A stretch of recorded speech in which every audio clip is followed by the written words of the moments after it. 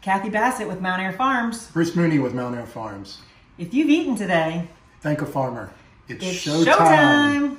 There is a chicken recipe that put Nashville on the culinary map. Nashville style hot chicken was developed some 80 years ago and is a Music City favorite. Oh, but we have good news for you. You don't have to be in Nashville to enjoy this hot take on chicken. We have some guests that we would like to introduce to you. This is Mountaire Director of Communications and Community Relations, Cathy Bassett, and along with her, Director of Retail Sales, Bruce Mooney, to show us how to make Nashville style hot chicken. Awesome. Yeah. You guys ready? Yeah, this sounds like interesting. I had never actually heard of it. So, well, Nashville is more is known for more than just country music these days, and and chicken is uh, making a name for itself. So, so Bruce here is, uh, you know, we're not professional chefs, but okay. we're professional eaters. So, you know, so bear with us. This is our first time doing something like this, but we're excited to bring you some delicious Mountaire Farms chicken. We're from Mountaire Farms. And uh, we're using a special kind of chicken today. Bruce, tell us about what chicken we're using. Uh, boneless thighs. Oh. So I think we all grew up eating, um, my father would have called these short joints. They're actually boneless thighs. And for years, boneless breast was king. And now boneless thighs, when people are starting to get more flavor right. in their recipes, is taken over. So if you haven't had these, I highly recommend you do it. Okay. Uh, you can down there chicken at Acme, Safeway, all these uh, Redner's, and even uh, Hockers at the beach hazard. And this oh, okay. Okay, so walk so, us walk us through talk talk us through as you do it what it is you're doing.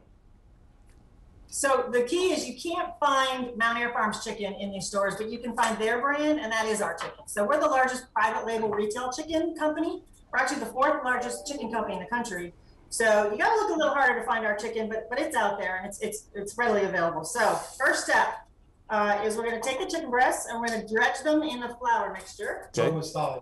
They're boneless thighs. We've salt them See, first. already, I've already messed it up. we we've salt them on both sides. Yeah, salt on both sides. And in this mixture is a cup and a half of flour, half a cup of cornstarch, and um, half a teaspoon of baking soda. And then you're going to dredge them in a buttermilk mixture. It's it's buttermilk, a uh, teaspoon of hot sauce, and an egg. Uh-huh. And it's really important that you go dry, wet, dry. That way the product will stick. Yeah, it builds and leave flavor. It, and leave it sit for a couple of seconds so it has time to adhere to the chicken because it's really. So this is this is basically you're making fried chicken. Basically. Okay. With a kick. With, With a, kick. kick. Yep. chicken sandwiches right now are hot. You know, they're, they're hot commodity, not just hot spicy. They're actually, you know, they're competing against each other. Everybody loves chicken, of course, and right. so you know, the Chick Fil A chicken sandwich or the Popeyes chicken sandwich. There's sort of a chicken sandwich war. So we're gonna head back over to the oil. So we're gonna dip it in some uh, peanut oil. Where, where does the hot come in? So there is, so in this sauce right here, okay, there's also hot sauce. All right, so you start out in in the uh, in the marinade basically with the oil with the hot sauce. Okay. And then at the end of it, after you're done cooking it, you're gonna dredge it again into a hot sauce that has oh. a little bit of oil in it it's got cayenne pepper, so it's got like a wet ending with it as well um, before you put it on a delicious bun. So that is, it's kind of a double, a double hop whammy. All right, well, I tell you what, since you have that all cooking in the, the pan over there, we're going to take this time to take a little break and then we're going to come back and see you put the rest of it together. Looking forward to that. We'll be right back. We're back with Mountaire Director of Communications and Community Relations, Cathy Bassett, and Director of Retail Sales, Bruce Mooney, making Nashville style hot chicken.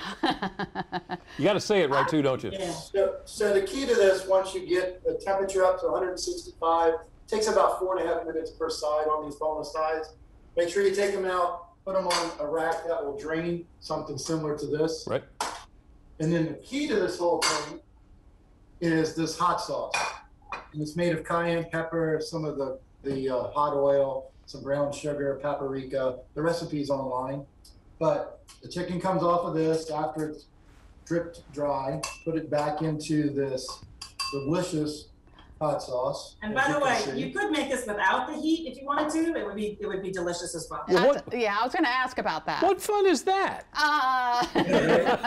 That's what I said. so anyway, we plate the sandwich get a little bit of lettuce like you would from one of the fast food joints. Oh my goodness, this looks good. Mm. A couple of pickles, And this recipe actually calls for the sweet, uh, sweet pickles. Yeah. You use what you like. and then you plate it with some French fries and a tomato salad, and you've got a restaurant-style meal at home for half the price. Bruce, hold that up to the camera so we can see it real good. That looks so good. Actually, he wants to see if he can taste it through Well, the. yeah, I was hoping. yeah, here we go. Oh, Oh, now there we're you talking. go. There, re- reach out. You can almost reach out and, Yeah. and taste it.